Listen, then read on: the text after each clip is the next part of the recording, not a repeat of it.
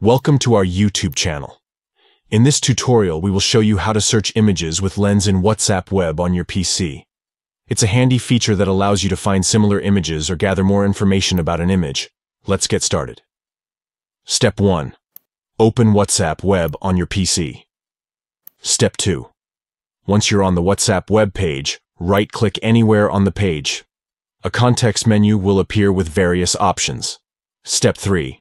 From the menu, select Search Images with Google. This will open a new tab with the Google Images search results for the image you want to search. Now you can explore the search results, find similar images, or even discover more details about the image you selected. And that's it.